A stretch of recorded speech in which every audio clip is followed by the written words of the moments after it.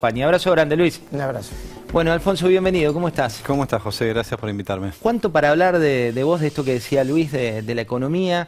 Nos situamos ya con, esta máquina del tiempo en noviembre. ¿Y qué nos encontramos? Bueno, tomando lo que decía Luis recién, ¿no? Es un gobierno que apuesta todo a las próximas eh, semanas que quedan para la elección, pero que colapsó por completo su visión de futuro, ¿no? Eh, tiene una estrategia que hasta ahora no tenía, hay que decir, y es, bueno, tratar de, recuperar los votos perdidos, pero lo que no sabemos es para qué esa estrategia. ¿Qué pasa después del 15 de noviembre, no? Eh, y esos votos los quieren recuperar para ellos, pero con la plata de todos, porque esto a veces eh, parece que, que no hay que eh, decirlo porque, porque no, la gente no lo mira, pero la realidad es que todos estos pesos que están emitiendo para poder eh, cumplir con ese gasto que le impuso Cristina a Guzmán, son pesos que circulan eh, y que afectan, digamos, el salario de todos, porque después la inflación nos joroba a todos, ¿no? Entonces, así como vimos un populismo sin recursos que se empezó a, caer a pedazos, esto es como la, la, última fase de eso, ¿no? Eh, bueno, tenemos que salir a poner la platita en los bolsillos de la gente, pero no tenemos la platita, entonces ¿qué hacemos? La creamos, la inventamos. Y eso tiene consecuencias nefastas, ¿no? Lo hemos visto muchas veces en la historia argentina eh, y es muy probable que lo volvamos a ver si siguen con esta estrategia. Alfonso, vos fuiste presidente del Banco Central, fuiste ministro de Economía y me acuerdo de una frase tuya cuando eras presidente del Central que me decías, cuando uno toma una medida en, en materia desde esa entidad, los resultados los ves con una demora, lo ves casi como cuando manejas un transatlántico que se empieza a mover, pero recién en seis meses se ven los resultados. Se ve toda esta plata que se tira y se tira al mercado. ¿Cuándo va a presionar esto, por un lado, sobre los precios y por otro lado, sobre tener un impacto a la gente? Bueno, depende mucho de la confianza o de la desconfianza. Me parece que tenemos que hablar de desconfianza por todo lo que hemos visto después de las elecciones y por todos esos tironeos dentro del frente de todos que, como decían ustedes dos recién, eh, contribuyen a que no haya un rumbo. ¿no? Eh, la gente no sabe quién es el que tiene el poder, quién marca la cancha. Hay un ámbito de desconfianza muy grande. Eh, y en ese ámbito de desconfianza, bueno, este, lo que puede pasar es que la gente decida no confiar en el peso y sacarse el peso encima. ¿no? Cuando miramos episodios de nuestra historia donde eso fue fulminante, eh, lo que pasaba era esto mismo que estábamos diciendo, ¿no? Vacío de poder, falta de estrategia, falta de futuro, eh, falta de posibilidades hacia adelante. Bueno, eh, la, reacción defensiva de, del ahorrista siempre ha sido, bueno, me corro del peso porque no confío en aquellos que manejan el peso, ¿no? Hubo otras instancias de, de nuestra historia económica donde la cosa funcionaba bien, pero todo indica que lo que ofrece el gobierno, aún, fíjate el presupuesto de Guzmán, que es un presupuesto muy optimista en tantos sentidos que ya Máximo y Massa le dijeron, bueno, este, te lo vamos a talar un poco porque tenemos que hacer política con esto. Aún con el presupuesto de Guzmán, el año que viene él tiene planeado emitir más de un billón de pesos de vuelta, ¿no? Eh, un billón, 1.2 eh, billones este año, un billón el año que viene. Entonces es muy difícil que la gente crea que va a poder bajar la inflación. Hablando de, inflación y hablando de realidades, eh, hubo un irresponsable proyecto del legislador de Frente de Todos que cabe aclarar, tanto desde la Cámpora como desde el Gobierno Nacional dijeron que no lo iban a validar, que no lo iban a apoyar, pero instaló el tema de nacionalizar depósitos. Eh, un grado de irresponsabilidad tal en un contexto como el que vive hoy el presidente del Banco Central. ¿Qué significa? Eh, tirar nafta al fuego, sí, sin duda. Eh, lo que pasa que también marca esta idea de que hay, digamos, eh, átomos locos, como se dice a veces, este, no hay unidad en el frente de todos y cada uno se siente en su derecho a salir a decir cualquier barbaridad, ¿no? En algunos casos, como en el de Fernanda Vallejos, que mencionaba Luis hace un rato, sincericidio, porque muchas de las cosas que dijo Fernanda Vallejos en ese audio son las cosas que hemos sostenido nosotros desde la oposición todo este tiempo, ¿no? De cómo le sacaron la plata a los jubilados, de qué mal manejaron la pandemia, ¿no? Fíjate, eh, José, que hace tres semanas eh, se votó, ¿no? Y para votar, ¿te acordás que no podías eh, pasarle la lengua al, sobre? Bueno, Fue todo un debate, ¿te acordás que hubo que explicar cómo agarrabas el sobre, de qué manera, y de golpe... Tres semanas después, 55.000 personas en la cancha de River. Y vos veías las imágenes hoy, muchos sin barbijo. ¿no? ¿Qué pasó en el medio? Perdieron las elecciones, no pasó nada sanitario en tres semanas. Perdieron las elecciones, entonces eso también la gente lo incorpora, también la gente lo ve. Le dijeron durante un año te tenés que encerrar porque si no te vas a morir. Y de golpe en tres semanas le dicen, bueno, salí porque tenemos que ganar las elecciones es un absurdo realmente. Y aparte te das cuenta que todo cambió, y estábamos viendo las imágenes de las que hacía referencia Alfonso. Otra de las cuestiones son las reservas del central. Uno lee y se publica por un lado lo de emisión y por otro lado que las reservas siguen cayendo. ¿Qué implica eso? Bueno, eso implica, son como los dos este, los dos platillos de una misma balanza, ¿no? Eh, la balanza está equilibrada cuando la cantidad de pesos y la cantidad de dólares en el Banco Central es más o menos parecida. Cuando uno de los platillos eh, empieza a acelerarse, como es el que tenemos ahora, el de los pesos, la gente enseguida mira el otro platillo. El problema que tenés ahora es que están aumentando la cantidad de pesos en circulación y están cayendo la cantidad de reservas del Banco Central. Es justamente lo que no querés. ¿no? Eh, la semana pasada, un ritmo de 60 millones de dólares por día. ¿no? Si vos contás 60 millones eh, de dólares por día en las deben quedar unas 25, entre 25 y 30 ruedas porque hay unos feriados en el medio. Bueno, ahí haces la cuenta de eh, cuántas reservas podés llegar a perder en todo este tiempo si no hay un cambio de signo en, en, la confianza. Y el gobierno no parece que vaya a generar esa confianza. ¿no? Entonces, aún asumiendo que lleguen, que alcancen las reservas para, el, para llegar al 14 de noviembre, ¿y qué pasa el 15? ¿no? Si no tenés un programa. Hoy yo escuché que el presidente decía, no, no, ya el, fondo, el acuerdo con el fondo está cerrado. Lo único que falta discutir es la tasa de interés. Alguien que le explica al presidente que para cerrar un acuerdo con el fondo hay que presentar un programa y que el programa que presenta Argentina es lleguemos como sea a las elecciones el 14 de noviembre. O sea, es otro disparate que dice este presidente, ¿no? Que lo puede decir de cara a las elecciones con, con afán electoral. Aparte, eh, Cristalina Georgieva está atravesando una crisis política en el propio Fondo Monetario, con lo cual tu interlocutora también está en una situación distinta. Sí, eh, bueno, eso puede ayudar o puede jugar en contra. En el fondo lo que, eh, lo que sucede es que le da mucho más, yo creo que le va a dar mucho más entidad y mucha más influencia en la discusión al staff del fondo que a la parte más política del directorio del fondo. Eh, y el staff no ha cambiado tanto. El staff es, eh, es, es, ortodoxo, es mostrarme el programa y yo te digo cómo va a ir la cosa. Entonces, sí, es cierto, no está la muñeca, pero lo que pasa es que tampoco estoy muy convencido de que eh, Guzmán haya armado un, un, vínculo tan fuerte con Georgieva como para ahora lamentarse de que Georgieva esté en dificultades. ¿no? Creo que tenemos que sacarnos de la cabeza esa idea, eh, José, de que bueno, una persona lo puede resolver o un vínculo personal lo, lo, puede resolver. Acá lo que falta en Argentina es hacer las cosas bien, tener un programa confiable, tener un programa creíble, más allá de las personas, ¿no? más allá de los nombres. Y es difícil ver cómo va a lograr eso el, eh, el, eh, el presidente y el, eh, y el gobierno después de las elecciones que tienen por delante. ¿no? Alfonso, volviendo a las reservas, ¿es exagerado pensar que se puede terminar vendiendo el oro que tiene el Banco Central?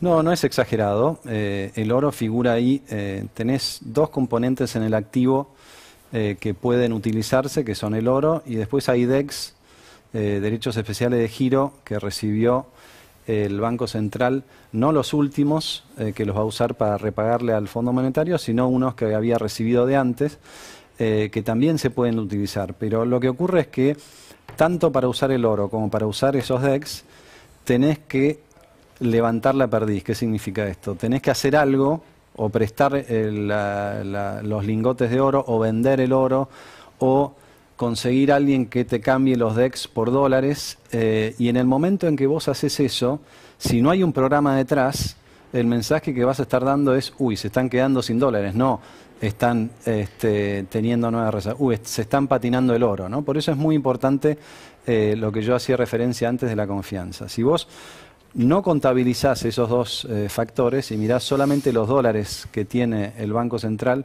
disponibles para intervenir, bueno, buena parte de esos dólares son de los ahorristas que depositaron sus propios dólares en, el, en un banco. el respaldo. Es el, sí, claro, son los encajes, ¿no?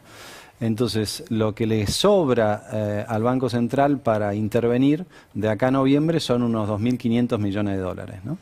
Eh, después, bueno, si con eso no alcanza, tienen que usar el oro. Eh, todo eso entra en este juego de la confianza al que yo hacía referencia antes. Alfonso, le voy a saludar a Pablo Fernández Blanco. Pablo, buenas noches, ¿cómo estás? ¿Cómo estás, José? ¿Qué decís? Eh, ¿Puedo hacer una pregunta a Alfonso? ¿no? Totalmente, te sumo con una pregunta acá para, para Alfonso, que habrás visto tiene mucho análisis, mucho contexto y sobre todo muchos títulos de cara a esta noche de domingo post partido. Alfonso, si vos fueses ministro de Economía o a quien le toque estar en el Ministerio de Economía o al propio Guzmán, eh, ¿por dónde empezás a arreglar la economía argentina? Y por ordenar el, poder, ¿no? Eh, por definir dónde está el poder y por eh, organizar una, un, esquema de mayoría en el Congreso que te permita avanzar con las cosas que, que, tenés que hacer, ¿no? Es muy difícil que eso lo pueda lograr hoy el presidente porque no está claro. Si el presidente apoya al ministro tampoco alcanza, ¿no? porque no sabemos si el poder lo tiene el presidente. Y veremos cómo quedan configuradas este, las mayorías en el Congreso después de las elecciones. Este fue el gran problema, Pablo, de nuestro gobierno eh, apenas iniciado a fines del 2015, porque teníamos muy pocos legisladores, vos lo recordarás. teníamos creo que un tercio, eh, sí, un tercio en diputados, un cuarto en el Senado.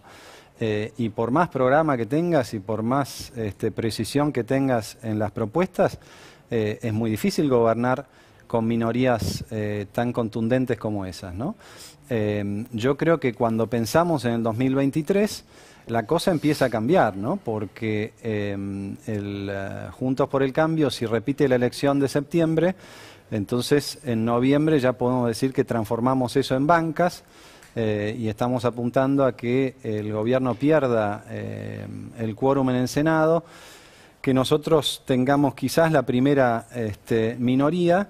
Y esto es muy importante no para lo que pase el 15 de noviembre, sino pensando en el 2023, porque para el 2023, con un programa bien pensado, bien planteado y con la proyección de poder tener mayoría en alguna de las dos cámaras, entonces Juntos por el Cambio puede llevar a la práctica muchas de las promesas que no pudimos cumplir en el primer mandato. Alfonso, te voy a sumar eh, lo que pasó esta semana. Hubo muchas declaraciones de funcionarios y una de las declaraciones es de Cecilia Moró. Después les voy a contar a ustedes de quién se trata, pero miren qué es lo que decía Los Cecilia supermercados. Supermercados.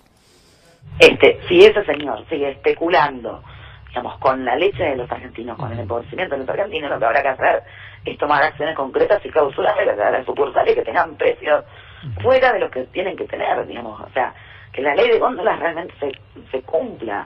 Hay productos que no los encontrás, porque son segundas marcas más accesibles. ¿Quién va a traer un dólar a la Argentina cuando uno lee o ve este tipo de Es un clásico, ¿no? La culpa nunca es eh, de ellos, nunca es del que gobierna, ¿no? Y siempre buscan un, bueno, eh, un culpable al que le puedan echar eh, toda la responsabilidad.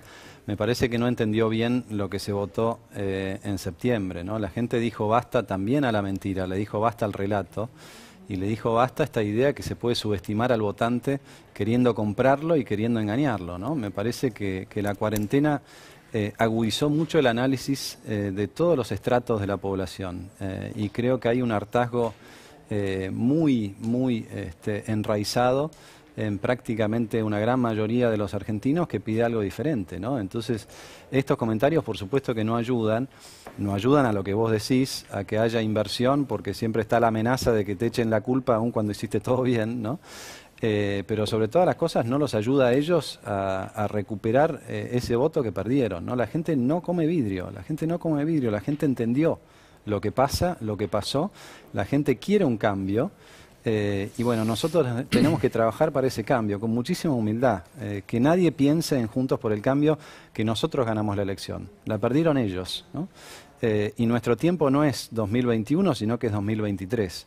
Ahora viene el momento de frenar la locura hacia Venezuela, pero lo más importante es que en estos dos años dejemos de lado todos estos comentarios, todas estas fantasías y trabajemos juntos para una alternativa que Argentina se merece, ¿no? Llevamos tantos años de decadencia eh, y creo que a partir de esta elección podemos pensar que hay un camino distinto. Alfonso, tomé nota hoy preparando la, entrevista que íbamos a tener de algunas de las medidas y te voy a pedir definiciones o análisis en frases cortas respecto a las últimas medidas. ¿Saben cuántas medidas tomó el gobierno después de las PASO, medidas económicas? Fueron 13 medidas concretas, pero algunas te seleccioné. El nuevo piso de ganancias de 150 mil pesos a 175 mil pesos. ¿Cuál es tu opinión? Bueno, se dieron cuenta que hubo inflación en todo este tiempo. ¿no? Eh, el piso de ganancias, como es un monto nominal, eh, está afectado por la inflación y ya esto lo hemos visto tantas veces, ¿no? Cuando eh, suben los salarios porque van acompañando la inflación, de golpe tenés que pagar más impuestos a las ganancias porque el piso quedó fijo en términos nominales, ¿no? Eh, creo que algún día tendremos que discutir una ley donde ese piso se mueva automáticamente y no estemos dependiendo de la política. El de la política, exactamente. Jubilación anticipada para quienes tengan 30 años de aportes, en un contexto en el cual la vida se extiende. Bueno, es la variante de las jubilaciones que regalaban cuando no había aportes, ¿no? Como ese cartucho ya lo gastaron en su momento, dicen, bueno, ahora eh, lo hacemos en cuotas, eh, te la doy este, antes de tiempo, ¿no? Es de vuelta, es la misma lógica de me desperté después del cachetazo en la elección y quiero salir a ver a quién puedo convencer detrás de un voto, ¿no? Como si la gente se dejara comprar tan fácilmente. Se propone en la provincia de Buenos Aires la vuelta de las clases presenciales, eh, apoyo los sábados, lo dice el propio gobernador Kisilov. Bueno, esto también lo hemos discutido, ¿no? Eh, y, creo que el debate quedó muy zanjado, que las escuelas no contagiaban, eh, que los contagios venían por otro lado, pero ellos tenían una postura ideológica, tenían hasta incluso una alianza con los sindicatos. Algunos de esos sindicatos siguen incluso metiendo palos en la rueda en la ciudad, ¿no? Eh, todavía hay manifestaciones de docentes que dicen, nos están contagiando abriendo las, las escuelas, ¿no? Eh, bueno, es un poco eh, la contracara de todo esto que dijimos antes, ¿no? Eh, te, encerraron durante un tiempo porque creyeron que era lo mejor para ellos y ahora se dieron cuenta que no era lo mejor ni para ellos ni para nosotros, ¿no? Te cierro la carne y después anuncio que se liberan las exportaciones de carne.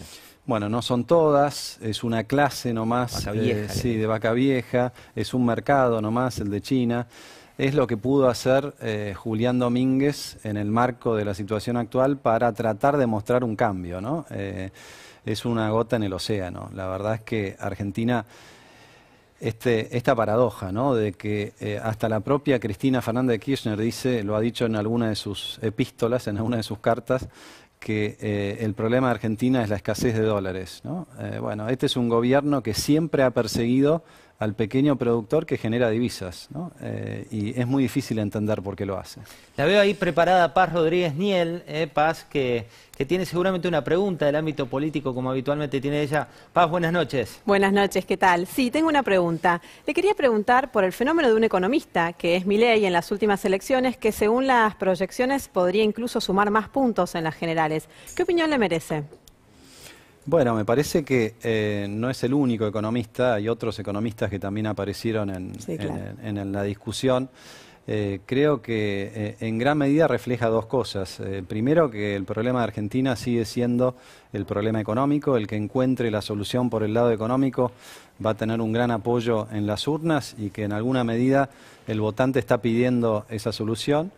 Y creo que también Milei ha logrado capitalizar una parte del voto bronca. Eh, digo una parte porque Juntos por el Cambio no perdió votos respecto a la última elección.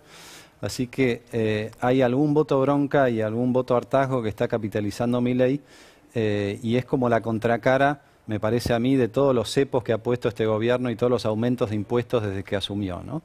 entonces, esa bronca frente a algunas medidas del gobierno representan quizás los votos de mi ley. ¿no? Eh, no nos olvidemos igual que una cosa es eh, estar en una banca en diputados, otra cosa es gobernar, ¿no? Y vuelvo a lo que dije hace un rato. La, opción que tiene Argentina en el 2023 es que el próximo gobierno, que esperemos que sea de Juntos por el Cambio, tenga la posibilidad de convocar a otras fuerzas, tener mayorías y avanzar en un programa distinto, ¿no? Eh, y esto es lo que está en juego en estos momentos. Alfonso, ¿cuánto lo conoces a Mansur? Lo he tratado cuando yo era ministro eh, y él eh, acababa de asumir como, gobernador. Eh, lo he tratado algunas veces, bueno, he estado en algunas reuniones con él, pero no puedo decir que lo conozco realmente. Cuando hablamos de, la economía que viene, también se hablaba de moratoria de la FIP, de amnistía fiscal, y una FIP que cambió su rol, un rol que tenía antes de investigar y que se retiró en varias de las investigaciones que tenía inclusive algunos fiscales, eh, dijeron yo ratifico esa investigación, pero no la entidad que lidera Marco del Ponto. ¿Cuál es tu punto de vista al respecto? Bueno, que ya no quedan entidades eh, públicas independientes prácticamente, ¿no? Lo mismo pasó con el Banco Central eh, y esto también va en línea con lo que vos preguntabas antes, para un inversor local o extranjero eh, que mira el cuadro de situación y dice, no puedo confiar en el árbitro, no quiero caer en la roja rojo de hoy, ¿no? Pero no puedo confiar en el árbitro porque no sé si las reglas de juego las van a cambiar a favor de algo que termina siendo lo opuesto de lo que yo quiero hacer, ¿no? Eh, y la FIP básicamente hizo eso, ¿no? La FIP, la UIF también, la unidad que tiene que hacer todas las investigaciones de lavado de dinero, eh, lo que pasó al final fue la impronta de Cristina Kirchner. Acordate cuando Cristina, en, uno de sus alegatos, eh, no me acuerdo exactamente en qué causa, salió a explicarle a los jueces que en realidad el criterio de justicia no era la verdad, sino eran los votos. Entonces, no nos podemos sorprender que ella haya extendido eso a prácticamente todas las instituciones. Pero para eso está la República. Ella dice republicanos de Morondanga. Pero la República está para eso. Es para que no haya una mayoría circunstancial que se lleva por delante a las otras minorías. Para que no haya una verdad relativa que dependa solamente del voto en una elección. ¿no? Hay cosas que no se pueden modificar y por eso está la división de poderes. Por eso es importante que la FIP, el Banco Central, pero sobre todo la justicia sea independiente. Porque si no tenés esa garantía, es imposible imaginarse eh, en largo plazo, es imposible imaginarse, bueno, sobre qué reglas me voy a, manejar yo, por qué voy a enterrar en Argentina una inversión en una planta, en lo que sea, si en el interín me puede cambiar todo simplemente porque gana o pierda una elección. Alfonso, muchas gracias por, por haber venido. Gracias a vos, José, y buenas noches y buena semana también.